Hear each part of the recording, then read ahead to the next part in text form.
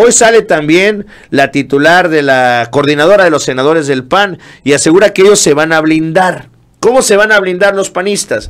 Para que no vaya a haber algún traidor, que bueno, en efecto, podría haber algún panista que se abstenga. Yo tengo en la mira a dos, a Mauricio Vila y al señor eh, Ricardo Anaya, que han dado muy eh, travieso, eh, coqueteándole con que el votar en contra de la reforma sería el votar en contra del pueblo. Yo coincido con esa postura.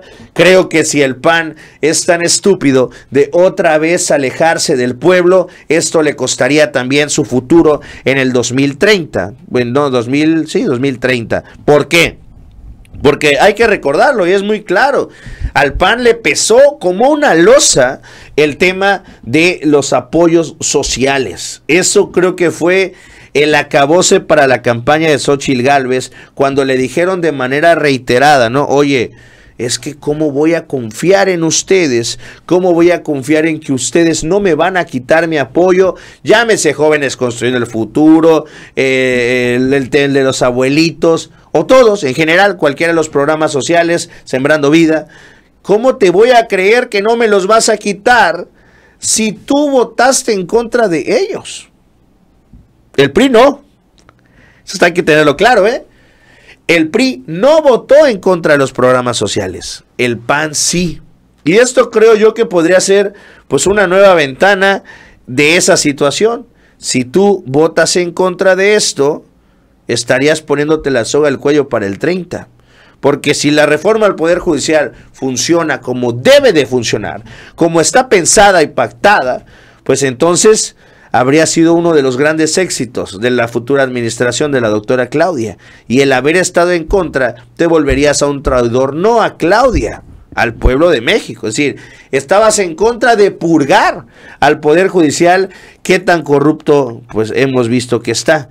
Vamos a escuchar a la coordinadora de los panistas que dice que ellos van a convocar a sus 20 senadores, pero también a sus 20 suplentes, para que en dado momento uno falte, se ausente, se enferme, vaya al baño, vaya por un cigarro, lo que quieras, tengan de manera inmediata a su suplente. Yo no sé qué tan eh, posible es que se termine dando la suplencia de un senador casi casi fast track y en el momento de la votación.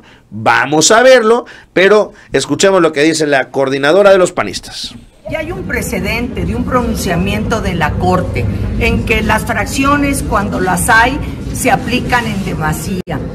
Desde luego estamos preparados para, en un momento dado, hacer valer que la mayoría calificada son 86 en el voto. No queremos que nos pase lo que pasó en el Tribunal Electoral, en donde a través de una sobrerepresentación ficticia, se dieron un número de escaños mayores a los que les otorgó la población. Y estaremos defendiendo esta postura, además con los precedentes que la propia Corte ha emitido al respecto y que nos apoyan. Así como están. Ya hay un precedente de un pronunciamiento.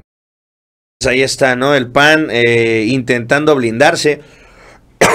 Repito, pueden evitar que no se ausente uno pero no pueden evitar que un senador vote en el sentido que pues le llame su corazoncito, ¿no? A lo mejor por fin Mauricio Vila, eh, que tan cercano fue a la izquierda al presidente López Obrador, que era pues el panista, incluso eh, el mismo Vila más cercano que algunos morenistas al presidente López Obrador. Vamos a ver eh, en qué culmina todo esto. El día de ayer sale esta, esta nota también muy interesante que habrá que ver si es real o no, pero por lo menos es llamativo. Y es esta. Un senador del PRI buscó a la doctora Claudia y en la bancada dicen que quiere votar la reforma al Poder Judicial. Eh, bueno, eh, dicen que este es, el senador Ángel García, que la semana pasada se habría eh, reunido o habría buscado reunirse con la doctora Claudia Sheinbaum. Dice, de hecho, el senador le habría comentado a Alito que si él estaba dispuesto podría votar por la reforma al Poder Judicial si es que Alito tenía algún acuerdo. este, este tema es seguido de cerca por el coordinador del Verde, Manuel Velasco, que es amigo de Alito. y al menos de momento parece estar en una suerte de competencia, aseguran, con Adán. Es decir, que andan como de gana gracias, ¿no? A ver, Velasco y Adán, ¿quién queda mejor con Claudia Sheinbaum? Y que según esto, le dijo este señor de Velasco, aquí todos somos pares. Que no te ocurra lo que a Chon en el PRI le, le dijo el chiapaneco quién sabe, ¿no? Está un poco fantasioso, aunque hay que recordar que cuando Velasco Coelho eh, dijo eh, hace pues algunos, algunos meses que... Eh, no es cierto, hace unos, hace unos días que ya se tenía la mayoría en el Senado de la República, Adán Augusto salió bastante molesto a desmentirlo, es decir que pues no es cierto, que no tenían ninguna mayoría y que no iban a hablar de, de esto, con lo cual pues bueno, así, así están eh, las cosas. Eh, también dentro del tema del Poder Judicial, esto es lo que ha pasado. El día de hoy, Norma Piña, eh, ponlo por favor, lanzó una consulta. Y esto dirían ustedes, pues ¿qué tiene, no? Que lancen 10, 20 consultas, 50, 100 si quieren. Pues no, porque esta consulta que abren es para determinar si los ministros y ministras de la Corte pueden exigirle, ordenar a las cámaras de legisladores que frenen pues el proceso de la reforma al Poder Judicial. Dice que la ministra Piña inició dos consultas al Pleno tras recibir solicitudes de los jueces y magistrados, que no tienen claro si se puede actuar sobre ellos y adivinen quién decide si se puede o no actuar sobre ellos. Ellos mismos. Es decir, ellos que quieren frenar la reforma al Poder Judicial, van a someter a voto si ellos pueden frenar la reforma al Poder Judicial. Qué conveniente, ¿no? Juez y parte. Ellos deciden si pueden violar la constitución legalmente, porque ellos lo hacen legal, ¿no? La palabra de piña es ley, y entonces, pues se acabó. No, oye, pero es que, no, no importa, es que ya lo determinó la Suprema Corte de Justicia, que es el máximo órgano de justicia en nuestro país. Oye, pero es que está violando la Constitución. Pues sí, pero ya, lo que diga Piña es lo que diga Piña.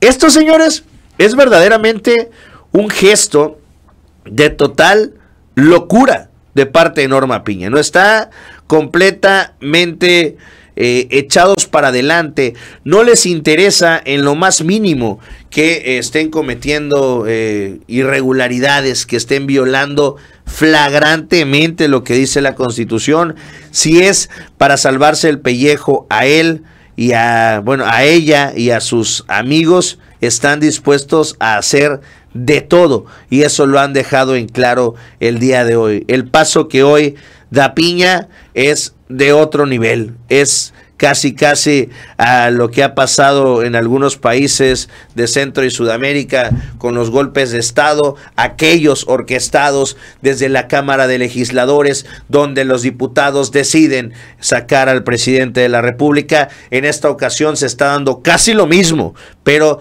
desde otro de los poderes, el Poder Judicial, que a pesar de que tenía mucho tiempo calladito, no se dieron cuenta o no nos dimos cuenta que el que verdaderamente movía el pandero en este país de lo que era legal y que no, del que realmente tenía el contubernio con los delincuentes, no necesariamente era el titular del Ejecutivo. Algunos de ellos fueron partícipes de alguna de estas trapacerías, como no es el caso de Calderón y de Fox, pero otros finalmente operaban con sus negocios desde la Suprema Corte de Justicia, desde los jueces, desde los magistrados, desde los ministros, a los cuales les brindaban protección y sobre todo inmunidad, porque sabían que si llegaban a tocar el tambo, pues los jueces, sus amigos, iban a estar listos para sacarlos.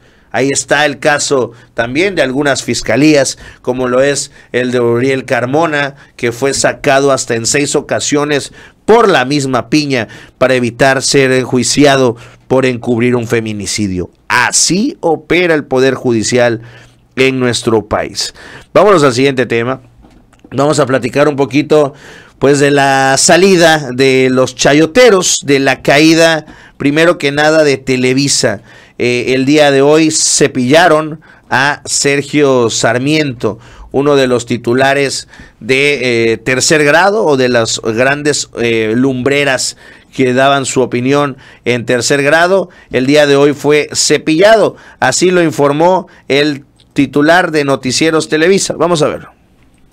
A Viridiana Ríos, déjeme agradecerle puntualmente a Sergio Sarmiento y a Genaro Lozano el hecho de habernos acompañado aquí en esta mesa durante años. Les agradezco sus intervenciones, sus participaciones, su inteligencia y, como decía, le doy la más cordial bienvenida a Viridiana Ríos. Gracias, un gusto estar por aquí. Bienvenida. Y antes de darle la más eh, finalmente se pillan a este señor Sarmiento y bueno, le han dado pues una buena madriza a los chayoteros, ¿eh? están sacudiendo a todos. Hablaba yo en la mañana de algunas de las marcas que se habían ido, como Rexona, como Bimbo, de parte de Televisa. Hoy otras más se suman. Ponlo, por favor. Grupo Lala y Nescafé acaban de anunciar también que están fuera de los patrocinios de eh, Televisa, de la Casa de los Famosos, de todos estos eh, realities que son los que mantenían a flote a la empresa de Emilio Azcárraga, que está en verdadero quiebre, que está en verdadera picada. Está muy complicado lo que le pueda suceder eh, ahí a, Emilio Azcárraga y compañía. Vamos a ver cómo acaba eh, todo esto. Y bueno,